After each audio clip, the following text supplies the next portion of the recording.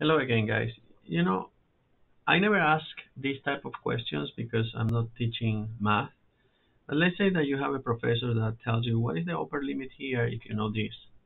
You can use that, you can solve that by using the num-solver here.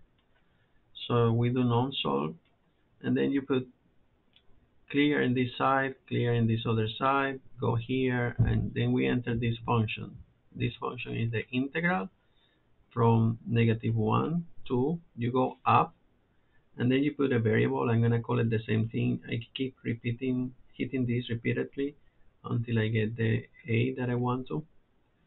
Then I go here to the right. I put the function x minus 2, x minus 2, and then you jump to the other side of the integral and put negative 4.5, and that's your equation, right? So you hit enter. Now you have to be a little bit, you have to have a little bit of patience here because it's gonna take a while. So I'm gonna put any guess that you want to, one, or you can put zero, and then it says here solve for x or solve for a. We are solving for a. That's what we want to, and you hit enter over there and just wait, and then you're gonna keep, you're gonna hear me talking until I don't know until I don't talk anymore.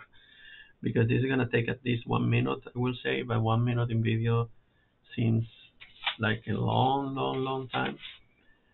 Uh, so I'm going to take the, I'm to use the time to prepare for the next equation that I'm going to solve for you, uh, which is another integral, a little bit more complicated than that. This is the integral that we are going to be solving next. So it's about to be done, I will guess, I will hope. There you go, 2. You see? 2.